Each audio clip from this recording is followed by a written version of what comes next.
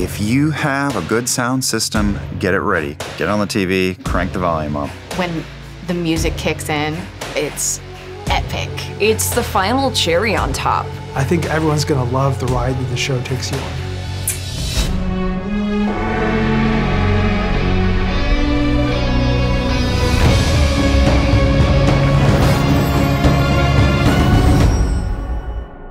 just like seeing a lot of the art come out of the, the design teams and the background artists and, and, and the animators, hearing character themes, hearing intense moments of our story being giving its original score, ah, it's incredible. It's, it, it gives goosebumps instantaneously. You know, it's funny, I didn't really think that I was that familiar with Neal Acree's music before he signed on to the project, but it turns out I really was. You've heard Neal's music if you've ever played any of the games that he is so well known for. I worked for many years on the Stargate franchise, and then at some point got an opportunity to, to write music for video games, and that meant World of Warcraft, and that led to StarCraft 2 and Diablo 3 and Overwatch eventually. It's great to work with people who are good at their jobs, of course, but it's even more spectacular when you can work with someone whose enthusiasm for your project makes it not your project anymore, it's our project. And he's a true collaborator in that sense that we are making something together. When I first heard about the Kickstarter, I knew right away I had to be involved in some way. It's the kind of project my entire career has been preparing me for. At that moment, I realized I can talk all I want about this, but the only way to really convey my enthusiasm is to do it through music.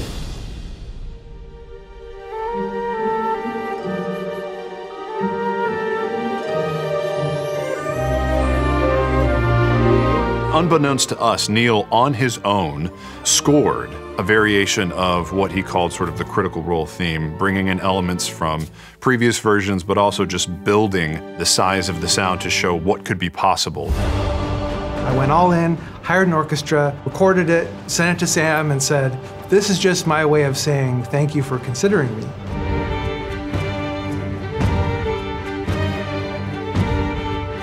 Hit our inbox, and I think I stood in the kitchen with a glass of water and listened to it about 37 times. It was one of the first moments where we really realized what could be possible with how we deliver this show.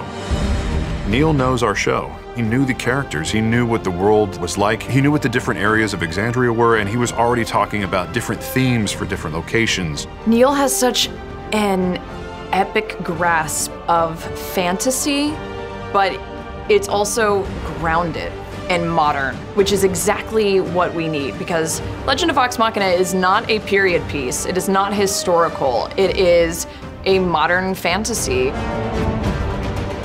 Matt's vision for the world that these characters run around in is so sweeping and gorgeous, and Neal's music meets that. He's made music for in all kinds of different genres, electronic music and classical music. He creates these really unique sounds. We're really lucky to have him on this team.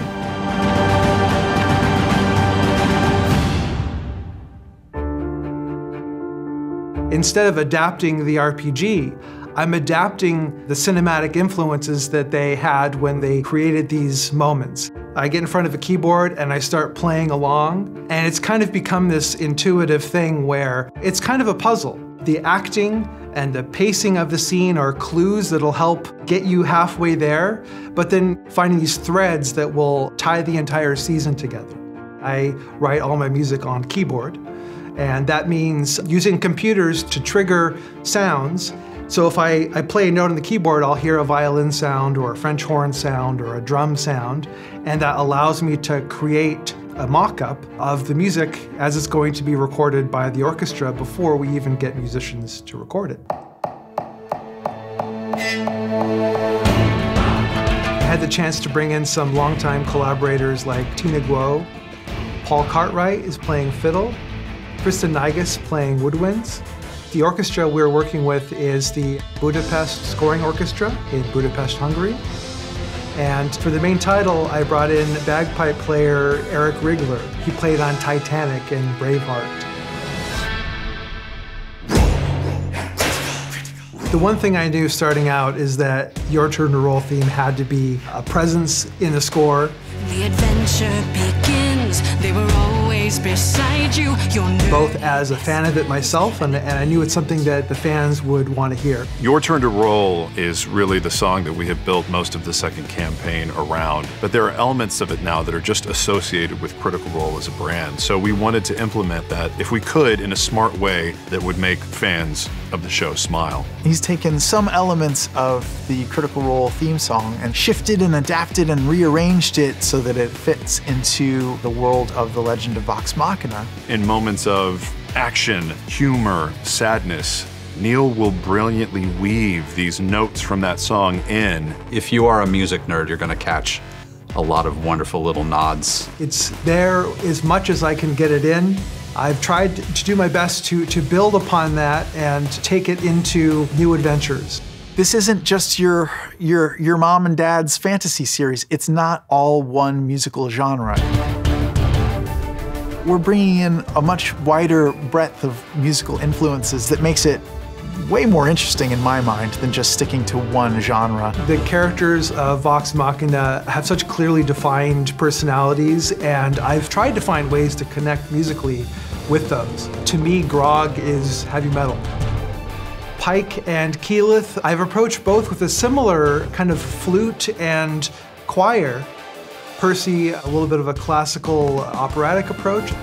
Vax and Vex have this gracefulness to them, so I've been handling that with strings playing this kind of classical waltz. I remember when I first started working on the show, I was trying to find the voice and kind of define some parameters.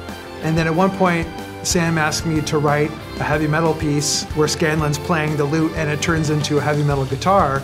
And I'm like, all the rules are out the window. Scanlan really opened up the musical Pandora's box with the songs that, that Sam and Peter wrote. Scanlan's music serves all kinds of different purposes. In a practical sense, his singing and music activates his magical powers. But the, the main point of the Scanlan songs, for me anyway, is just to make people laugh.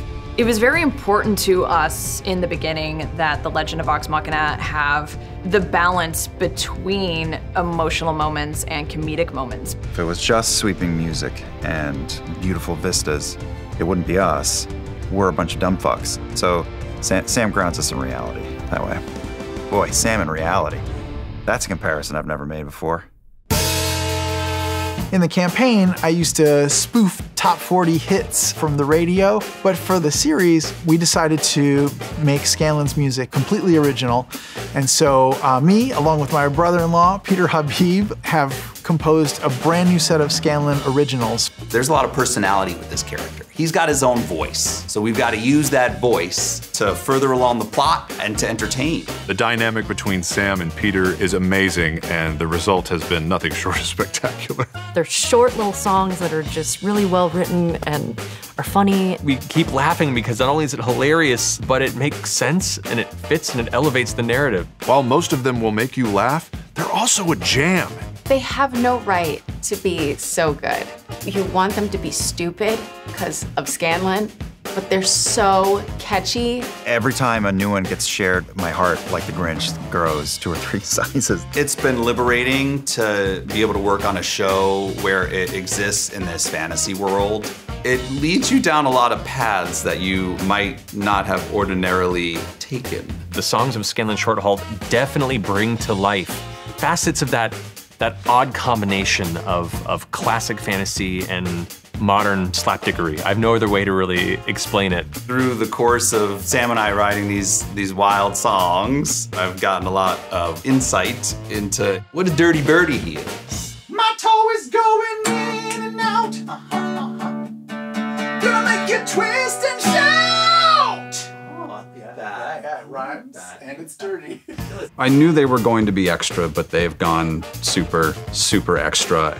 Possibly one of the big reasons why this is going to be a very adult cartoon. we touched on a lot of different musical styles and genres. Everything from a little bit of a hip hop edge to a funk and a soul edge to a country kind of style. There are absurd songs and there are heartfelt songs. It's magic. The creative outlets are flooded completely open with this show. In my career, I've had the chance to work on a lot of very beloved franchises, so I understand what it means to take the story and to try to deliver the best I can to help bring it to the fans, to bring it to a new audience, and I just want to make this the best it can be. Folks, we've given a lot of blood, sweat, and tears into the last couple years of music that we've generated for this show. My hope is that it brings the world that you guys know so well to another level. To get to contribute to this, to be a part of this story, is a huge honor, and I hope that everyone enjoys the show as much as we've all enjoyed working on it.